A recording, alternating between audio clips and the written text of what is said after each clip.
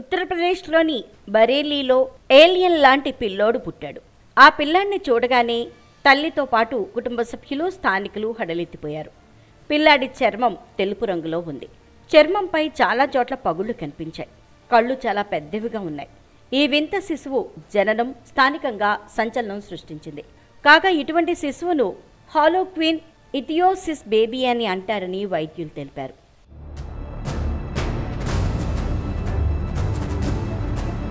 మరోవైపు ఈ పిల్లవాడు పుట్టినప్పటి నుంచి వింత వింత శబ్దాలు చేస్తున్నాడు. సాధారణంగా ఇటువంటి శిశువులు జన్మించిన వెంటనే చనిపోతారని వైద్యులు తెలిపారు. అయితే ఈ శిశువు ఇంకా ఊపిరి తీసుకుంటున్నాడు.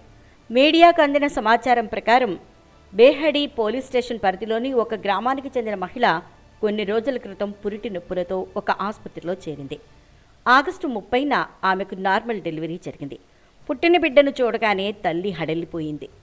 పిల్లాడు ఏలియన్ మాదిరిగా ఉన్నాడని స్థానికులు చెప్తున్నారు.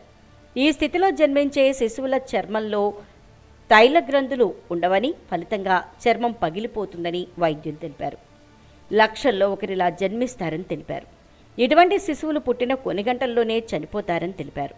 కొన్ని సందర్భాల్లో ఇటువంటి శిశువులు ఐదారు రోజుల వరకు జీవిస్తారని పేర్కొన్నారు.